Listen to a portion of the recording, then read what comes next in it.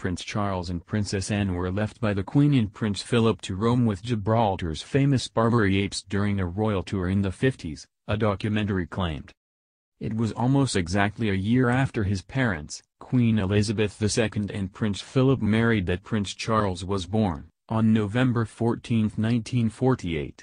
While modern-day royal youngsters are being encouraged to speak about their feelings and demand plenty of affection and company, in Charles' early days it was a very different story. The British monarch and the Duke of Edinburgh famously embarked on a six-month Commonwealth tour soon after her coronation and left Prince Charles and Princess Anne at home.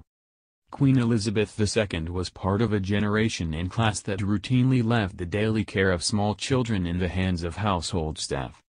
This led to suggestions that Charles did not form as strong a bond with his mother as he had with nannies and his beloved grandmother, the Queen Mother. In 2015 YouTube documentary The Madness of Prince Charles, it is claimed that on his second and third birthday, neither the Queen nor Prince Philip were there. Even when Charles was traveling with his parents, they often left him to the staff. The documentary reveals that during the royal tour of Gibraltar in 1954, when the little prince and Princess Anne went to see the famous Barbary apes, it was with the nannies. Charles, then aged five and a half fed the rock's famous Barbary apes without his parents, but was watched over the, the royal nannies.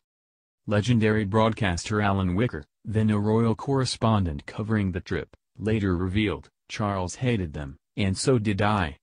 In Jonathan Dimbleby's 1994 biography of Prince Charles, titled, The Prince of Wales, a biography, Charles is quoted as saying that the people who raised him were not his parents, but inevitably the nursery staff. After Elizabeth was coronated in 1953, the pair's schedule became even busier and it meant the prince was left in the care of nannies. Prince Charles reportedly had a lonely and heartbreaking childhood, which resulted in scathing comments later in his life.